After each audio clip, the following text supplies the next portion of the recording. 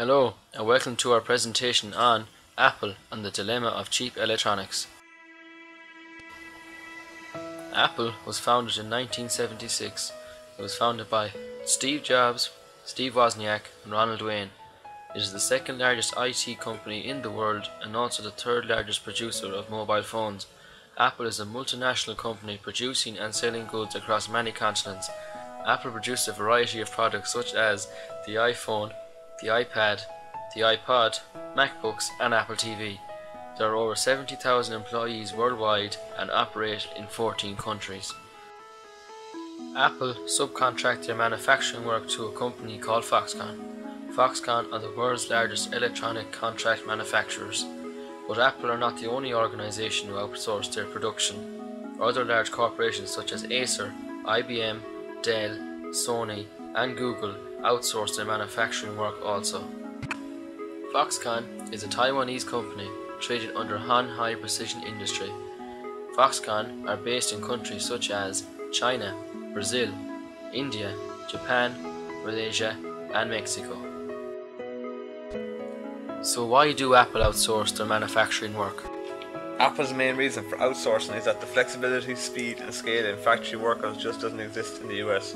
A factory in Foxconn district reports that 3,000 people queued every Monday morning seeking employment. To get this many resources in the US would take months. Apple's executives had estimated that about 8,700 industrial engineers were needed to oversee and guide the 200,000 assembly line workers eventually involved in manufacturing iPhones. The company's analysts had forecast that it would take as long as 9 months to find that many qualified engineers in the United States. In China, it took 15 days. There are many reasons why Apple outsource. Cheaper labour, lower taxes, cheaper running costs, less worker benefits, low import tariffs. And with only one thing in mind, money. The cheaper Apple can develop their products, the greater the profit. Cheaper labour. A typical Foxconn employee earns on average $1.25 per hour and works 70 hours per week. Therefore, their total monthly salary accounts to $350 per month. If we compare this to the US, a typical factory worker would earn on average $2,030 per month. This is calculated from 70 standard working hours, not including overtime rates. Lower taxes. In a recent study by KPMG, they illustrated that China and India are the most tax-friendly countries in relation to corporate income tax, capital tax, sales tax and property tax, where Foxconn manufacturers are predominantly based, whereas the United States lie only 8th on this list. Running costs. Running costs is another factor which has to be considered when choosing to outsource.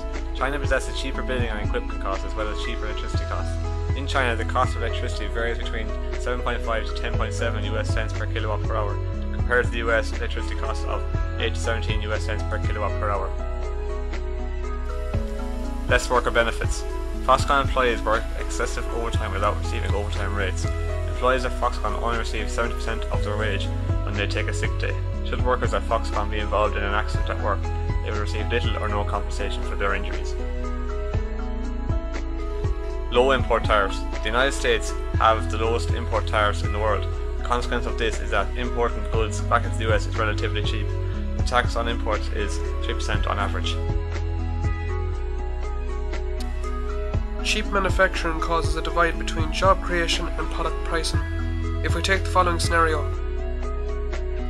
Would you like manufacturing jobs back in your country? Yes. Would you pay more for the products? No. USA and Europe would like the manufacturing jobs back in their countries but are not willing to pay the higher prices as a result. Compared the selling price of an iPhone manufactured in China versus that of an iPhone manufactured in the United States, the cost of the product would effectively double. So, where does that leave Europe and USA? Less employment opportunities, increased strain on economies' funds, more people immigrating, and higher taxes to counteract extra government expenses. Cheap manufacturing costs as a consequence sheds light on the working conditions inside Foxconn. People working inside Foxconn are victim to the following excessive overtime, dangerous working conditions, high work intensity, no insurance, unfair pay, unfamiliarity with unions.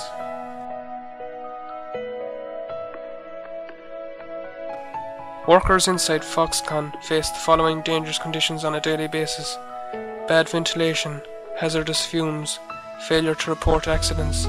Studies have shown 14 suicides were committed between January and December 2010. These people were aged between 17 and 28. Employees were asked to sign non-suicide pledges, which meant the employee or their family cannot sue the organisation for unexpected death, self-injury or suicide.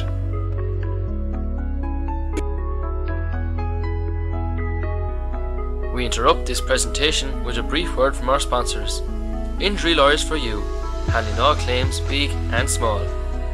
Have you had an accident at work that wasn't your fault? If you are a Foxconn employee and were involved in an incident, then you may be entitled to nothing.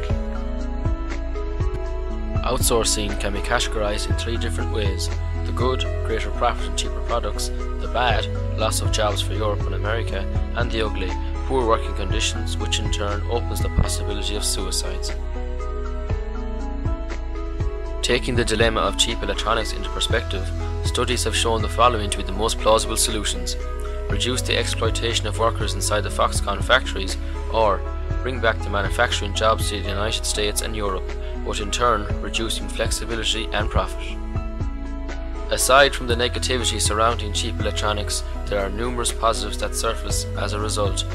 Greater profits available to invest in innovation, job creation for largely populated countries, cheaper products for the consumer, and more highly skilled service jobs created in Europe and USA.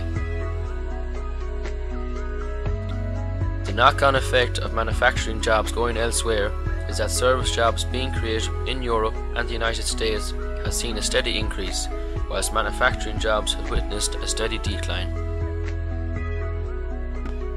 With the increasing demand for cheaper electronics, outsourcing is here to stay.